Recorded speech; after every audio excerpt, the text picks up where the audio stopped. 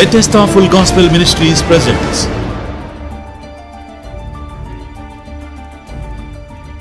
బెతెస్త సంపూర్ణ సువార్త సహవాసం నిర్వహించు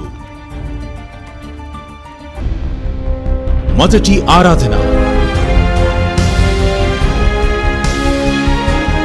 ప్రతి ఆదివారం ఉదయం ఎనిమిది గంటల నుండి పది గంటల వరకు విజయవాడ చిట్టినగర్ కల్రా హాస్పిటల్ ఎదురుగా శ్రీ అప్పికట్ల జోసెఫ్ మరియు మార్తమ్మ గార్ల స్కూల్ ఆవరణలో జరుగును. రెండవ ఆరాధన.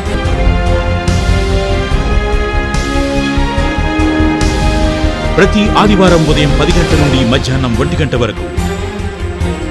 విజయవాడ కృష్ణలంక ఫైర్ స్టేషన్ ఎదురు డౌన్లో పెద్దివారి వీధి బెతెస్తా మందిరమందు జరుగును.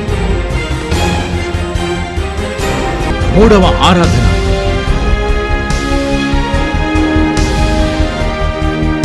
పటమట డొంక రోడ్లో గల SR VSM English medium high school ఎదురు సందులు కుడివైపున రెండవ సందులో గల శ్రీ వీరాంజనేయ జనరల్ స్టోర్స్ ఎదురు సందునందు ప్రతిరోజు సాయంత్రం ఆరు గంటల ముప్పై నిమిషాల నుండి ఎనిమిది గంటల ముప్పై నిమిషాల వరకు వ్యతస్థా మందిరం నందు ఆరాధన జరుగును. ప్రతి ఆదివారం ఉదయం అభిషేక స్వస్థత ప్రార్థన. ప్రతి శనివారం ఉదయం పది గంటల నుండి ఒంటి గంట వరకు కృష్ణలక్క ఫైర్ స్టేషన్ ఎదురు డౌన్లో పెద్దివారి వీధిలో గల వ్యతస్థా మందిరమందు రోగుల కొరకు యేసు రక్తముతో అభిషేకించి స్వస్థత ప్రార్థనలు చేయబడి శక్తివంతమైన స్థుతి ఆరాధన బలమైన వాక్య సందేశం స్వస్థతలు మరియు అద్భుతములు మీరే మందిరమునకు వెళ్ళని వారైతే రండి ప్రభువుతో కలిసి ఆరాధిద్దాం దైవికమైన ఆశీర్వాదాలు పొందుదాం.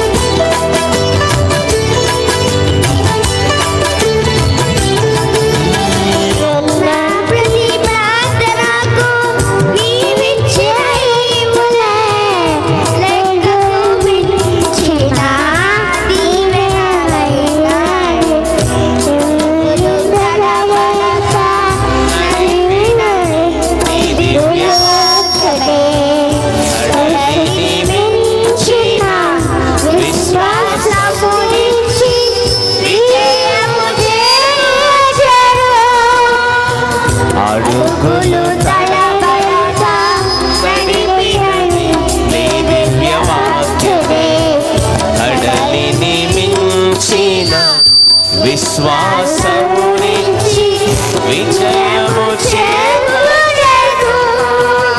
నీ వాక్యమే మకరందమై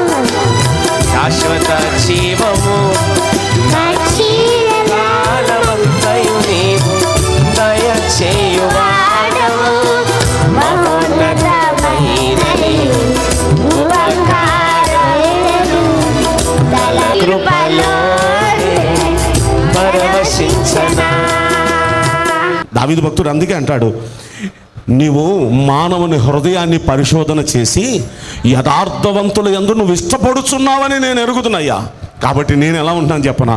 యథార్థ హృదయున్నాయి ఇవన్నీ చేస్తున్నాను. కాబట్టి ఈ రోజు నుండి మనం తీర్మానం చేసుకుందాం. మానవుని హృదయాన్ని దేవుడు పరిశోధన చేస్తున్నాడు. ప్రతివాని క్రియల చొప్పున ప్రతివానికి ప్రతీకారం చేయటానికి యహోవాను నేను మనుషుని హృదయాల్ని పరిశోధిస్తున్నాను పరీక్షిస్తున్నాను అన్నాడు కదా. ఆయన ప్రతీకారం ప్రతీకారం అంటే ఎవరి గురించి అంటారు? అంతకంత చేయకపోతే అది ప్రతీకారం మాటలు. అంటే నువ్వు అడిగిన ప్రతి అబద్ధానికి అంతకంతకు నీకు దెబ్బ తీయకపోతే మోసం చేశాడు యాకోబు. అటు తండ్రిని మోసం చేశాడు అన్నను మోసం చేశాడు. ఎన్ని మోసాలు చేశాడు? రెండు మోసాలు చేశాడు.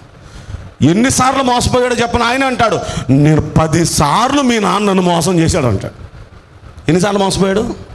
మనుషుడా నువ్వేది విత్తుతున్నావో? అంతే. నువ్వు మోసం విత్తితే అదే మోసం కోస్తావు కనుక విత్తొద్దు మోసం. మోసం చేస్తే మోసపోతాం అంతే. కనుక వద్దండి మనం అది యథార్థంగా ఉందాం. యథార్థంగా ఉన్నవాడు చాలామంది అంటారు లోక విరోధని యథార్థంగా ఉన్న వాళ్ళు దేవుడు ఇష్టపడతాడు. లోకమంతా విరోధంగా ఉన్నా సరే లోకమంతా ఏకమైనా నిన్ను ఇంచి కదిలించలేరు యథార్థంగా ఉంటే. హలలోయ లోకమంతా నిన్ను తొక్కేద్దాం అనుకున్నా సరే వాళ్ళ కిందకి వెళ్ళిపోతారు నువ్వు పైకి వస్తూనే ఉంటావు యథార్థంగా ఉంటే. ఎందుకంటే యథార్థవంతులు అంటే దేవునికి ఇష్టం. ప్రైజ్ అలా యథార్థవంతులు ప్రార్థన చేస్తే కూడా ఆనందపడిపోతాడంట ఆయన. నువ్వు మోక నుంచి ప్రార్థన చేస్తూ ఉంటే సంబరపడిపోతాడు ఆయన. నువ్వు ఏది అడిగితే అది ఇచ్చేస్తాడు అంతే. పదిహేనవ అధ్యాయము సామెతల గ్రంథంలో ఎనిమిదో వచ్చి నుంచి రెండో లైన్ అంటాడు చూడండి. యథార్థవంతుల ప్రార్థన ఆయనకు ఆనందం. ఆయనకు ఆనందం. యథార్థవంతులు ఏది అడిగితే అది ఇచ్చేస్తాడా? ఇచ్చేస్తాడంతే. ఓసారి ఒక ఆయనకి ఓసారి ఒక ఆయనకి దేవుడు మరణశిక్ష విధించాడు. నువ్వు పదిహేను రోజులు చచ్చిపోతున్నావు అన్నాడు. గోడదట్టు మొహం తిప్పుకున్నాడు. కన్నీళ్ళతో ప్రార్థన చేశాడు. ప్రార్థనలో ఆయన పెట్టిన ఫస్ట్ అంశం ఏంటి చెప్పనా? యహోవా యథార్థ హృదయుడనే సత్యముతో నీ సన్నిధిలో నేను ఎట్లు నడుచుకుంటున్నావు నీ సమస్తం నేను ఎట్లు జరిగించుదును కృపతో జ్ఞాపకం చేసుకొని కన్నీళ్ళు విడుస్తూ ప్రార్థించాడు. రెండవ రాసుల గ్రంథం ఇరవయో అధ్యాయంలో మూడో వచ్చిన అతను ప్రార్థన చేశాడు. దేవుడు అతనితో ఏమంటాడు చెప్పనా? నీవు కన్నీళ్ళు విడిచుట నేను చూచాను. నీ ప్రార్థన నేను అంగీకరించాను. నేను నిన్ను బాగు చేస్తున్నాను. నీ పదిహేను రోజుల ఆయుష్కాలాన్ని పదిహేను సంవత్సరాలుగా నేను పొడిగిస్తున్నాను. స్వస్థత నీకు శీఘ్రమే లభిస్తుంది. ప్రైజ్ అప్పటికప్పుడు స్వస్థత ఇచ్చాడు. పదిహేను రోజుల ఆయుష్కాలాన్ని పదిహేను సంవత్సరాలు పొడిగించాడు. కారణం దేవుడికి నచ్చే ఫస్ట్ క్వాలిఫికేషన్ తనలో ఉంది. అదేం చెప్పనా? యథార్థత. అడుగుతున్నాడు నేను యథార్థ హృదయంతో ఎలా భక్తి చేశానో జ్ఞాపకం చేసుకో అయ్యా. ఎన్ని గట్స్ అండి. ఈరోజు ఈ మాట మనం అడగమంటే మనలో ఎంతమంది అడుగుతారు ఈ మాట? దావిదు భక్తుడు కూడా అదే మాట అంటాడు. నూట ముప్పై తొమ్మిదో కీర్తన మొదలు వచ్చిన అంటాడు. యహోవా నువ్వు నన్ను పరిశోధించయ్యా. నన్ను పరీక్షించయ్యా. బా హౌ వండర్ఫుల్ అండి. నువ్వు నన్ను పరిశోధించయ్యా. నన్ను పరీక్షించయ్యా. దేవుణ్ణి పరిశోధించమంటున్నాడు అండి దేవుణ్ణి పరీక్షించమంటున్నాడు. కావాలంటే మనుషులు చెప్తాం మనం. కాదని టెస్ట్ చేసుకోండి కావాలంటే అంటాం. కాదు మనల్ని దేవుడు టెస్ట్ చేస్తాడు. నన్ను పరిశోధించాయి ఆ పరీక్షించి. ఎన్ని గట్స్ ఈయన చూపిస్తాను మీకు చూడండి. అసలు ఎంత ధైర్యం అండి ఈయనకి దేవుడిని పరిశోధించమంటాడు. ఐదో కీర్తన చూడండి. మొదటి వచ్చిన అంటాడు యహోవా నా మాటలు చెవిని పెట్టుము. నా ధ్యానం మీద లక్ష్యం ఉంచాయి ఆ ధ్యానం అంటే నా ధ్యాస ఏంటో నా ధ్యానం ఏంటో దాని మీద నువ్వు దృష్టి పెట్టయ్యా. దేవుడు దృష్టి పెడితే దేవుడికి మొత్తం స్కాన్ తెలుసండి. మొత్తం స్కానింగ్ చేసేస్తాడు. ఆయనకి ఏది మరుగు లేకుండా అంత తేటగా కనిపిస్తుందండి. ఆయనకి అంత తేటగా కనిపిస్తుంది. ఆయనకి ప్రియ దేవుని బిడ్డలారా మన దేవుడు మన ఈ దావిది అంటున్నాడు నా ధ్యాస మీద కూడా లక్ష్యం ఉంచయ్యా. నా హృదయాన్ని పరీక్షించయ్యా. నా అంతరంద్రియాల్ని పరీక్షించయ్యా. పదహారు వచ్చిన అంటాడు నూట ముప్పై తొమ్మిదో కీర్తనలో. నీకు ఆయాసకరమైన మార్గం నా ఎంతేమైనా ఉందేమో చూడయ్యా. అంటే దేవునికి ఇష్టం లేనిది దేవునికి ఆయాసం కలిగించేది. ఏదైనా ఒక్కటైనా ఉంటే చూడయ్యా చూడయ్యా నువ్వు. ఎంత పర్ఫెక్ట్గా ఉంటే ఈ మాట అనగలుగుతున్నాడండి. ఎంత పర్ఫెక్ట్గా ఉంటే యోబు కూడా అన్నాడండి ఇలాగే. యోబు కూడా ఇలాగ అన్నాడండి. హౌ గట్స్ అండి అసలు వాళ్ళకి ఆశ్చర్యం వేస్తుంది వాళ్ళు ఒక్కొక్కరు అన్న డైలాగ్ చూస్తే. ఒక్కసారి యోబు గ్రంథంలో ముప్పై ఒకటో అధ్యాయము ఆరో వచ్చిన యథార్థుడనై ఉన్నాను అని. దేవుడు తెలుసుకున్నట్లు న్యాయమైన త్రాసులో ఆయన నన్ను తూచునుగాక. ఓ! నన్ను త్రాసులో వేసి తూసే ప్రభువా. నేను యథార్థంగా ఉన్నాను నువ్వు తెలుసుకుంటే చాలయ్యా ఎవరు తెలుసుకుంటే చాలు? వండర్ఫుల్ కదండి. మనం యథార్థంగా ఉన్నామని ఎవరికి తెలియాలి? అంతే.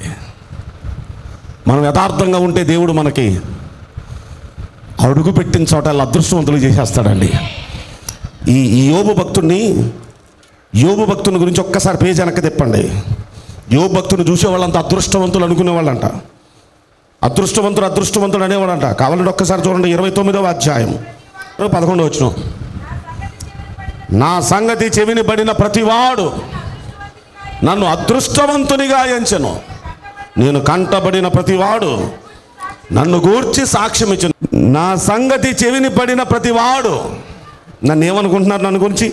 అదృష్టవంతునిగా ఏంచాను నేను కంటపడిన ప్రతివాడు నన్ను గురించి సాక్ష్యం ఇస్తున్నాడు. ఏమని? అదృష్టవంతుడురా. అరే అదృష్టవంతుడురా. ఎందుకండి అదృష్టవంతుడని సాక్ష్యం ఇస్తున్నారు? ఎందుకండి ఈయన గురించి అదృష్టవంతుడు అంటున్నారు అంటే ఆయన కొంచెం పై వచ్చిన వాళ్ళు అంటే నేను అడుగు పెట్టిన చోట అంటాడు చూడండి. నేను పెట్టిన అడుగెల్లా ఐదో వచ్చిన నేను పెట్టిన అడుగెల్లా నేతిలో పడుతుంది? నేను ఎక్కడ అడుగు పెడితే అక్కడ ఎక్కడ పడుతుంది? బురదలో పడుతుంది అన్నాడా నేను అడుగు పెడితే కడుక్కోవడమేక అది మన సబ్జెక్టు. కానీ యోబు అడుగు పెడితే ఎక్కడ పడుతుంది? నేతిలో పడుతుంది. యోబుని గురించి జనం ఎలా చెప్పుకుంటున్నారు? అదృష్టవంతుడు. కారణం ఏంటంటే యోబు యథార్థవంతుడు. దేవుడు టెస్ట్ చేశాడు ఆ యోబుని? టెస్ట్ చేశాడు. చేయమని నువ్వు అన్నా అడగపోయినా చేస్తాడు ఆయన. చేశాడు. చేసి సర్టిఫై చేశాడండి రెండు సార్లు. యోబు గ్రంథం మొదటి అధ్యాయం ఎనిమిదో వచనంలోను యోబు గ్రంథం రెండవ అధ్యాయము మూడో వచ్చంలోను అంటే మొదటి రెండు సార్లు ఎందుకు చెప్పానంటే మొదటి అధ్యాయం ఎనిమిదో వచనంలో అన్ని పరిస్థితులు బాగున్నప్పుడు టెస్ట్ చేస్తే అన్ని శుభ్రంగా జరుగుతున్నప్పుడు టెస్ట్ చేస్తే యథార్థవంతుడు. పది మంది పిల్లలు ఒక్కసారి చచ్చిపోయారు. ఆరోగ్యం అంతా క్షీణించిపోయింది. ఆస్తులన్నీ అరించిపోయినాయి. అప్పుడు మళ్ళీ టెస్ట్ చేశాడు. అప్పుడు కూడా యథార్థంగానే ఉన్నాడు. వండర్ఫుల్ కదండి? వండర్ఫుల్ కదండి? వండర్ఫుల్ కదండి. ఇప్పుడు అందుకుంది మీకు.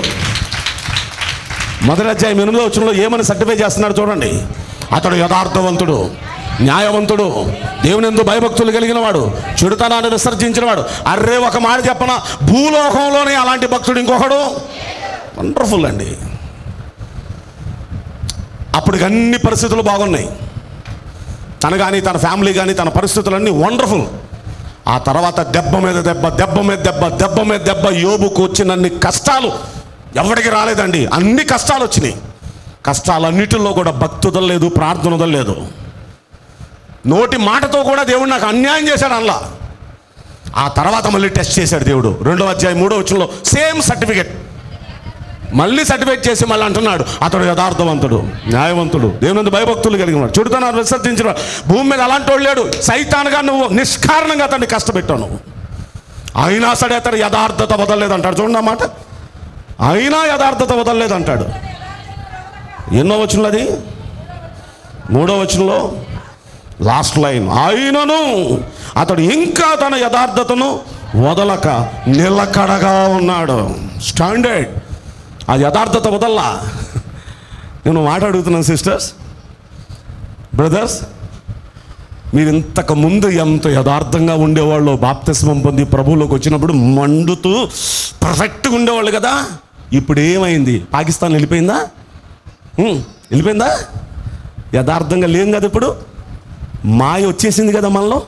మన పిల్లలుగా ఉన్నప్పుడు ఎంత యథార్థంగా ఉండేవాళ్ళం? పెద్ద అయ్యే కొద్దీ మా ఎట్టకు వచ్చేసిందో బాడీలోకి అలాగే భక్తిలో పెరిగే కొద్దీ ఇంకా యథార్థంగా ఇంకా యథార్థంగా అవడానికి బదులుగా రివర్స్ అవుతున్నారండి మీరు. మా ఎందుకు వస్తుంది? సముద్రంలో లేకపోతే నీళ్ళల్లో ప్రయాణం చేసే వాడ వాడ ప్రయాణానికి నీళ్ళు ఉండాలి కానీ అదే నీరు లోనకు రాకూడదు. వస్తే అయిపోయినట్టే దాని చరిత్ర. మాయ మీలోకి వస్తే మీ చరిత్ర అయిపోయినట్టే. తామర పువ్వు చూడండి. నీటిలో పుట్టిద్ది నీటిలో పెరిగిద్ది నీటిలోనే ఉంటుంది. కానీ బురద అనేది ఎప్పుడైనా చూపించండి. తామర ఆకు మీద కానీ పువ్వు మీద కానీ నీట్గా క్లీన్గా ఉంటుంది ఎప్పుడు. దాని మీద బురద చల్లేవి లేవా? బురద బురద చేపలన్నీ ఉండేది ఆ చెరువులోనే. పైకి లేచి మరీ బురద చల్లిది ఎంత బురద మీద చల్లినా మళ్ళీ క్లీన్ చేసేసుకుంటూ ఉంటుంది. అవునంటారా కాదంటారా? మనం అలా ఉండాలండి ఈ బురద లోకంలో. ఈ వరద లోకంలో బురద లోకంలో మనల్ని మనం అలా నీట్ అండ్ క్లీన్ చేసుకుంటూ ఎప్పటికప్పుడు యథార్థంగా పవిత్రంగా మనం ఉండాలి. యథార్థవంతులు అంటే నా నా ఏసైకి చాలా ఇష్టం. హలోయ కాబట్టి ప్రతి హృదయాన్ని దేవుడు పరిశోధిస్తున్నాడు. యథార్థవంతులు ఎక్కడున్నారా అని ఆయన కన్నులు వెతుకుతున్నాయి. ఇక్కడ ఉన్నారా అదొక అబద్ధం వద్దు. ఇక నుండైనా యథార్థంగా ఉండే కృపను మాకు పైకి ఏది మాట్లాడుతున్నామో లోనదే కలిగి ఉండే భాగ్యం మాకు. మాయ మాటలు మేము అంతే. మాట్లాడొద్దు అంతే మాయ మాటలు. మనకు నచ్చంది ఏదైనా జరుగుతుంది అక్కడ. కాముగురు కూర్చున్నాం అంతే. అంతేగాని సూపర్ అండి అనొద్దు. అదే మాయ. కదండి? మనం ఎప్పుడు యథార్థంగా ఉందాం ఎందుకంటే ఏసైకి యథార్థం అంటే చాలా కొంతమంది అంటారు ఏమండి మేము మమ్మల్ని మనుషులు మెచ్చుకున్నా మెచ్చుకోకపోయినా లోన్ ఏది ఉంటే అది మాట్లాడేసేస్తామండి అది కూడా వద్దు. ఏది కొన్ని కొన్నిసార్లు మీ మాటలు ఇంకొకరిని గాయం చేసే పరిస్థితి రానియొద్దు. మాటల వల్ల ఇంకొక వ్యక్తిని గాయపరిచే సీన్ మీకు ఎవడిచ్చాడు? కత్తి పెట్టి గుండెల్లో పొడిసి గాయం చేస్తే ఎంత నేరమో ఎదట వ్యక్తిని ద్రోహి వ్యర్థుడా అని కోప్పడి అన్నవాడు కూడా హత్య చేసినవాడితో సమానం అన్నాడు దేవుడు. అనలేదా? ఇంకొక వ్యక్తిని గాయపరిచే ఆ అవకాశం దేవుడు మనకి ఇవ్వలా. నీ వల్ల ఎవడి మనసు గాయం అవ్వకూడదు. పొద్దున్న లేవగానే సిలివేసుకోండి నా వల్ల ఎవ్వరు బాధపడకూడదు అయ్యా నా వల్ల ఎవ్వరి మనసు గాయం అవ్వకూడదు అయ్యా నా మాటలు అలా కాపాడుకోవడానికి నాకు మీరు ఎప్పుడు అడగట్లేదు అనుకుంటా అందుకే రావట్లేదు. మన వల్ల ఎప్పుడు ఎవరు ఎట్టి పరిస్థితుల్లో బాధపడితే మీరు ఓడిపోయినట్టే భక్తిలో. వేస్ట్ మీ భక్తి నిజం చెప్తున్నాను. అవసరమైతే మీరు పడండి ఆ బాధ. మీరు పడండి మాటలు. మీరు పడండి ఆ నొప్పి. కానీ మీ వల్ల మాత్రం ఎట్టి పరిస్థితులు ఎవరికే నొప్పి. అందరూ అంట్లా? ఇంకా రాట్లా? చెయ్యొత్తానండి నాకు అర్థం కావట్లే. నా వల్ల ఎప్పుడు ఎవరు ఎట్టి పరిస్థితుల్లో ఎవరి హృదయం ఎట్టి పరిస్థితుల్లో నొచ్చుకోకూడదు అదే గిరి నీ భక్తి అయితే. నువ్వు ఐదు నిమిషాలు ప్రార్థన చేసిన ఐదు నిమిషాల ప్రార్థన సక్సెస్ఫుల్గా ఫలిస్తుంది అంతే. హలోయ లోయ దేవుడు చూస్తున్నాడండి. ఈ దావీదు భక్తుడు దేవుని దగ్గర చేసే ప్రార్థన ఏంటో చెప్పనా? ఆశ్చర్యపోతారు మీరు ఆ ప్రార్థన చెప్తే. కీర్తన గ్రంథంలో పంతొమ్మిదో కీర్తన ఆఖరి వచ్చిన చూడండి. అతను ఏమని ప్రార్థన చేస్తాడు? యెహోవా. నా ఆశ్రయదుర్గమా నా విమోచకుడా? నా నోటి మాటలు నా హృదయ ధ్యానం నీ దృష్టికి అంగీకారమగునుగాక. నా నోటితో మాట్లాడే ప్రతి మాట అది నీకు ఇష్టంగా ఉండునుగాక. నా హృదయంలో తలపోసుకునే ప్రతి ధ్యానం అది నీకు ఇష్టంగా ఉండునుగాక. నూట నలభై మూడో కీర్తన పదవచనంలో అంటాడు దేవా నా దేవుడవు నీవే నీ చిత్తానుసారంగా ప్రవర్తించుటకు నాకు నేర్పించయ్యా. అంటే ఆయన నోట్లతో మాట్లాడే ప్రతి మాట హృదయంలో తలపోసుకునే ప్రతి ధ్యానం ఆయన ప్రవర్తనలో అంతటిలో ప్రభు అధికారానికి లోబడి ప్రభుకి ఇష్టం లేని ఏది తన జీవితంలో జరగకుండాను గాక అని సిలివేసుకుంటున్నాడు రోజు లేవగానే. మరి మీలేని సిలివేసుకుంటున్నారు? సిలువ ఎందుకు వేసుకుంటున్నారంటే ఏ దుష్టుడు నన్ను ముట్టకుండును గాక. అందుకు కాదు మీరు సిలువేసుకునేది? నిజాలు మాట్లాడాలి. మేము వెళుతుంటే ఏ బస్సు మమ్మల్ని గుద్దకుండా ఉండును గాక. మాకు ఈ రోజంతా వెళ్ళే పనులన్నిటిల్లో డోర్స్ ఓపెన్ అయిపోవును గాక. కదా? సిలువ ఎందుకు వేసుకున్నారు మీరు? ఇందుకేగా? మీకు అంత కలిసే వచ్చేయాలి. నేను అంటున్నాను మీరు జాగ్రత్తగా ఇది పాటిస్తే అడగక్కర్లేదు. అడగకనే వరాలు ఇచ్చే వరుణ్ణి మనం ఆరాధిస్తున్నామండి. కోరకనే వరాలు ఇచ్చేవాడు ఆయన. అడగకపోయినా మన అక్కర్లన్నీ తీర్చేవాడు ఆయన. అలాంటి అద్భుతమైన వ్యక్తిని ఏమంటే మీ అమ్మా నాన్న మీ మీరు అడిగితేనే అన్ని ఇచ్చి పెట్టారా? మిమ్మల్ని ఈరోజు ఇంతవరకు చేశారా? అడగకుండానే మీ అమ్మా నాన్న మిమ్మల్ని బతుకులాడి బతుకులాడి ఇచ్చారే. నా ఏసైకి అంత మంచి మనసు లేదనుకుంటున్నారా? నువ్వు అడిగితేనే అన్నం పెడతాడా? నువ్వు అడిగితేనే నీ అక్కడ తీరుస్తాడా? అడగకపోయినా సరే అమ్మా నాన్న ఎంత ప్రేమ చూపిస్తున్నారో. కోటి రెట్లు ఎక్కువైన ప్రేమ అండి నా ఏసయ్య ప్రేమ. మనందరం ఆయనకి పిల్లలం అండి. అది కావాలి ఇది కావాలి అది కావాలి ఇది కావాలి. ఎంపర్లాడక్కర్లా ఏ సమయానికి ఏది కావాలో మన ఎంట పడేటి వచ్చేటి వేస్తాడు ఆయన. అల్లలోయ నాకు ఇష్టమైన ఒక డైలాగ్. ఏసయ డైలాగ్ అది. Seek ye first the kingdom of God and all this things shall be added unto you ఆయన రాజ్యాన్ని ఆయన నీతిని మొదట వెతకండి. అప్పుడు మీకు ఏది కావాలన్నీ మీ ఎంటబడి వస్తాయి. Shall be added unto you నువ్వు వెళ్ళిపోతూ ఉంటే నీ ఎండబడి వచ్చేస్తూ ఉంటాయి. నీకు యాడ్ అయిపోతూ ఉంటాయి అన్నీ. ఒక ఆన్సర్ షీట్ ఇచ్చారంటే దానికి అడిషనల్స్ వచ్చేస్తాయి ఎన్ని కావాలన్నీ? ఇప్పుడు ఒక్కటిగా బుక్లెట్ ఇచ్చేస్తున్నారంట. మా టైంలో ఆన్సర్ షీటు ముందు ఇచ్చేవాళ్ళు తర్వాత అడిషనల్స్ ఇస్తూ ఉండేవాళ్ళు. పిచ్చగాళ్ళు ఓ పెద్ద పెద్ద లెటర్స్ పెట్టేసేసి ఇంతంత తాటికి అంత అక్షరాలు పెట్టేసి రాసేస్తున్నారు కానీ బుక్లెట్స్ ఇవ్వడం ప్రారంభించారు. సరే ఏదేమైనా ఒక్కసారి ఆలోచిస్తే మనకి ఏది కావాలో అది ఏదైనా సరే యాడైపోద్ది మనం ఏం వెతకాలి? నోటితో ఎవరిని ఎప్పుడు గాయపెట్టొద్దు. రెండవది హృదయంలో ఎప్పుడు యథార్థంగా ఉండాలి. ఈ రెండు కాపాడుకుందామా? చూస్తున్నాడు దేవుడు. మనల్ని గమనిస్తున్నాడు దేవుడు. టెస్టింగ్ మిషన్ పెట్టాడు. ఏమంటే మన గుండెకి టెస్టింగ్ మిషన్ ఉంది కిడ్నీకి టెస్టింగ్ మిషన్ ఉంది మనకి బాడీలో అవయవాలన్నిటికీ టెస్టింగ్ మిషన్ ఉంది కానీ హృదయం అనే దానికి టెస్టింగ్ మిషన్ దేవుడి దగ్గరే ఉంది. ఆయన పరీక్షిస్తున్నాడు. ప్రతి వానికి దేవుడు వాళ్ళ క్రియలకు తగిన ప్రతిఫలం ఆయన ఇవ్వబోతున్నాడు. ఈ రోజున ఇన్నాళ్ళు ఒకవేళ మాయిగా ఉన్నా సిలివేసుకొని ఇక్కడ ఈ రోజు నుండి యథార్థంగా ఉంటామయ్యా అని తీర్మానం చేసుకోండి. ఇన్నాళ్ళు మీ వల్ల ఎవరి గుండె గాయమైనా ఇక నుండి మా వల్ల ఎవరు గాయమవ్వకుండా మేము కాపాడుకుంటామయ్యా అని సిలివేసుకోండి ఒక్క నిమిషం మోకరించండి. ప్రార్థన చేద్దాం. ప్రభు పాదాల దగ్గర అందరం ప్రార్థన చేద్దాం. మనం యథార్థంగా ఉంటే ఎంత బాగుంటుందో మన జీవితం. మన భక్తి ఎంత ఫలిస్తుంది. అలా యథార్థంగా ఉండే భక్తిని మాకు దయచేయండి అయ్యా అని ప్రార్థన చేద్దాం. ఎట్టి పరిస్థితుల్లో మా వల్ల ఎవరు గాయమాకుండా ఉండే భాగ్యం మాకు దయచేయండి అయ్యా అని ప్రార్థన చేద్దాం. స్తోత్రముల యానికి స్తోత్రములు నాయన. నిన్న నేడు యంత్రము కూడా ఏకరీతిగా మా పక్షమందుండి నాయన. ఎన్నో అద్భుతాలు ఆశ్చర్య కార్యాలు మహిమ కార్యాలు చేస్తూ నాయన స్వస్థపరుస్తూ నాయన. కృంగిపోయిన పరిస్థితిలో ఉన్నప్పుడు నాయన మమ్మల్ని బలపరిచి వెన్నుతట్టి నాయన నడిపిస్తూ నాయన. ప్రతి క్షణము కూడా నాయన కునుకగా కాపాడుచున్న ఏసయా నీకే స్థుతులు స్తోత్రములయ్యా నీకు స్తోత్రాలు నాయన. ఈ లోకములో ఎక్కడ లేనిటువంటి నాయన ప్రేమను ఆదరణ మాకు కలిగిస్తూ నాయన. అయ్యా మమ్మల్ని ఎంతగానో ప్రభు నాయన అయ్యా కృప చూపిస్తున్న దేవా నీకే స్తోత్రాలు చెల్లిస్తున్నాం. ఇంతవరకు జరిగిన ప్రతి కార్యక్రమాన్ని బట్టి నీకు వందనాలు. బిడను బలపరుచుకుని నాతో మాతోను మాట్లాడిన దేవా నీకే స్థుతులు స్తోత్రములు నాయన. మా యొక్క హృదయం ఈ రోజు ఎలాగుందో ప్రభు మమ్మల్ని మేము పరీక్షించుకున్న ఆయన ఈ యొక్క నాయన యొక్క హృదయంలో ప్రభు నీకు స్థానం ఇచ్చటకు నాయన. ఈ యొక్క హృదయంలో నీవే ఉంటకు నాయన. ప్రతి విషయంలో కూడా నాయన నీకు భయపడుతూ భక్తి చేయటకు సహాయం దయచేయమని వేడుకుంటున్నాం. ఎంతమంది అయితే ఈ యొక్క హృదయాన్ని నీకు ఇస్తారో నాయన? వారిని ఆశీర్వదిస్తానని ప్రభు ఈ స్థలానికి నువ్వు వచ్చినందుకు ఈ స్థుతులు స్తోత్రములయ్యా. నీకు స్తోత్రాలు చెల్లిస్తున్నాము నాయన. అయ్యా నీ కృప లేకుండా దయ లేకుండా నాయన ఒక్క నిమిషము కూడా మేము బ్రతకలేము నాయన. అయ్యా దయచేసి నాయన అయ్యా మా అందరి పక్షాన ప్రభు నాయన్ని కృప చూపించమని వేడుకుంటున్నాం. దైవజన్ మీరు బలపరచుకోండి ప్రభువు అయ్యా వాక్యముల ద్వారా మమ్మల్ని ఎంతో బలపరుస్తున్నావయ్యా. అయ్యా నాయన ఇది ఆస్తుని ప్రభువ ఎంతగానో వాడుకోబోతున్నందుకు నీకు వందనాలు స్థుతులు స్తోత్రాలు చెల్లిస్తున్నాము నాయన.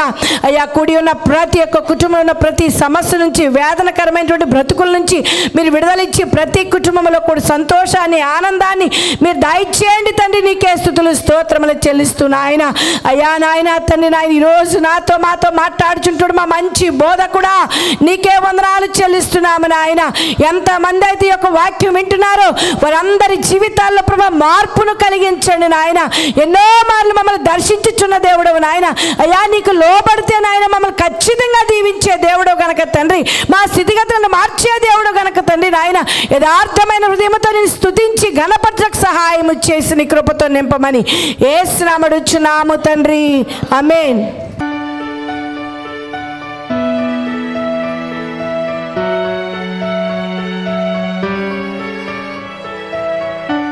స్వస్థత అభిషేక కోడికలు ప్రతి మంగళవారం సాయంత్రం ఆరున్నర గంటల నుండి తొమ్మిది గంటల వరకు చిట్టినర స్కూల్లో జరుగును ప్రతి శుక్రవారం సాయంత్రం పటమట చర్చిలో ప్రతి శనివారం ఉదయం పది గంటల నుండి ఒంటి గంట వరకు కృష్ణలంక చర్చిలో జరుగును.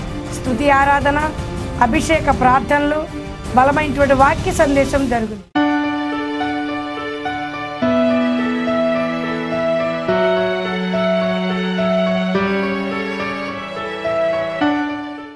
మా మొదటి ఆరాధన ప్రతి ఆదివారం ఉదయం ఎనిమిది గంటల నుండి పది గంటల వరకు చిట్టినగర్ కలరా హాస్పిటల్ ఎదురుగా గల అప్పిగట్ల జోసఫ్ గారు మార్తం గారు స్కూల్ ఆవరణలో జరుగును.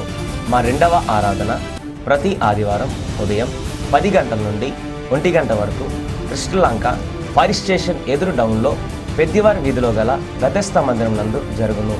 మా మూడవ ఆరాధన ప్రతి ఆదివారం సాయంత్రం ఆరు గంటల ముప్పై నిమిషాల నుండి తొమ్మిది గంటల వరకు పటమట డొంక రోడ్ విఎస్ఎం స్కూల్ ఎదురు రోడ్లో ఆంజనేయుల గారి కొట్టు ఎదురు రోడ్లో గల బెతస్తా మందిరం నందు జరుగును.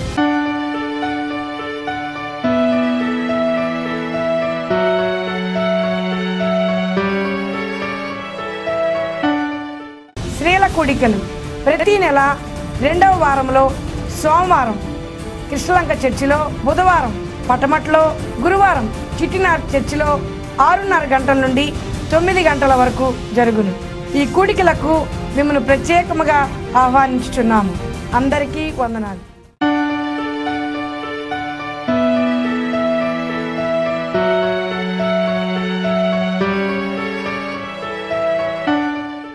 యూత్ మీటింగ్ ప్రతి నెల మొదటి వారంలో సోమవారం శ్రీలంకలో బుధవారం పడమట్లో గురువారం చిట్టినగర్లో సాయంత్రం ఆరు గంటల ముప్పై నిమిషాల నుండి తొమ్మిది గంటల వరకు మన సహోదరులకు సహోదరులకు ప్రత్యేకమైన స్కిట్స్ క్విజ్ మరికొన్ని ఆసక్తికరమైన కార్యక్రమాలు జరిగాయి ఈ ఆరాధనలకు యూత్ మీటింగ్లకు మిమ్మల్ని ప్రత్యేకముగా ఆహ్వానిస్తున్నాము.